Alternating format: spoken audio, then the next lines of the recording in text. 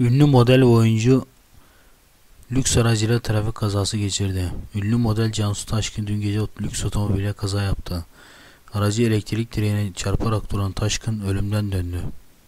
Seyir halindeyken lastikleri patladı. Paylaşımlar binlerce beğeni alan ünlü model Florya'da geçirdiği kaza sonrası ölümden döndü.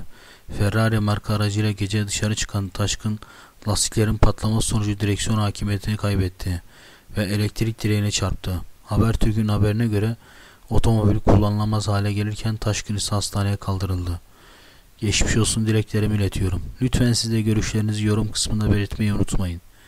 Kanala abone olursanız şimdiden teşekkürler.